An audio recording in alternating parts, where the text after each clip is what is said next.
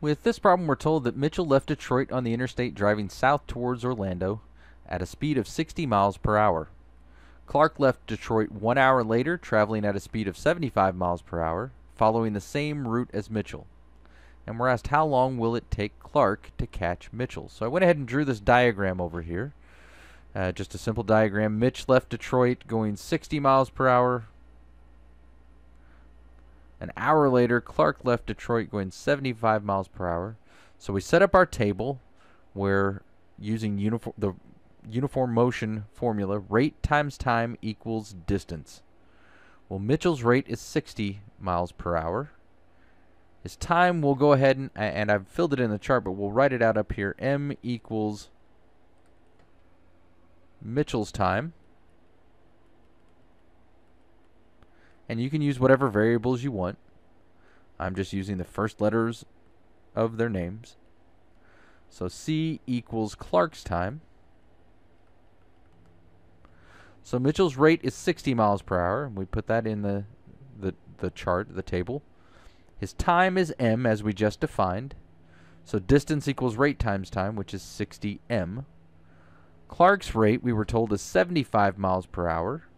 We defined his time as c, so distance equals 75c. So let's set up our system of equations. First off, we know that their distance is going to be the same. It's how long will it take Clark to catch Mitchell? So when he catches him, they'll have traveled the same distance. So we know our first equation is 60m equals 75c. Now we also know that Clark left Detroit one hour later. So when he catches up to him, he will have traveled one hour less as far as time is concerned. So we know that Clark's time, C,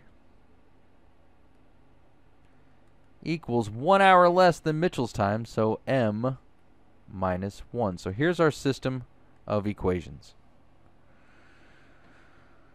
Now we'll go ahead and I'm going to switch colors so we can differentiate what we're doing here.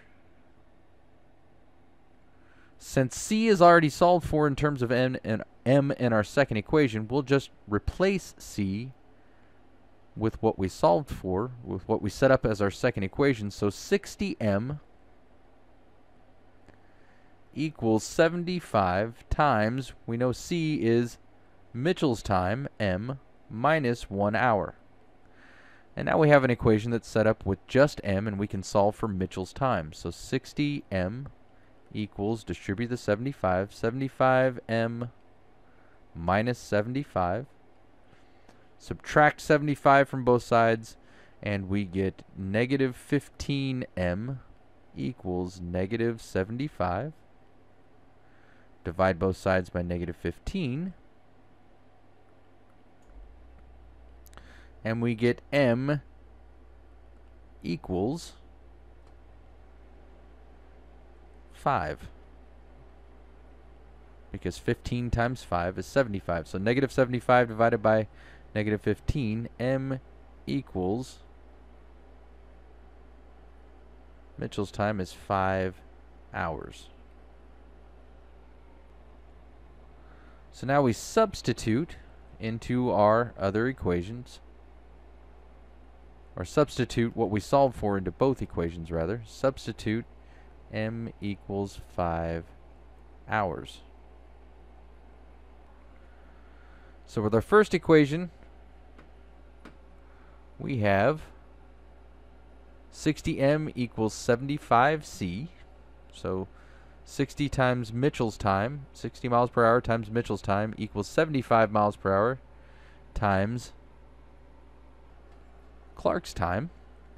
So we'll write down our equation. 70, 60 m equals 75c. We solved for m equals 5 hours, so 60 times 5 equals 75c. So 300 equals 75c. Divide both sides by 75, and we get 4 equals C. So C equals 4 hours. Let's double check with our second equation. C equals M minus 1. Again, M is 5 hours, so C, Clark's time, equals 5 minus 1. So C again equals 4 hours. So in short, uh, if we're talking about when Clark left, from the point Clark left, it takes Clark four hours to catch Mitchell. And at that point, Mitchell will have driven five hours. So tentatively, that is our solution.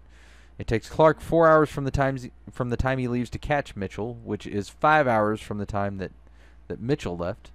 Now let's go ahead and check our solutions. So 60m equals 75c.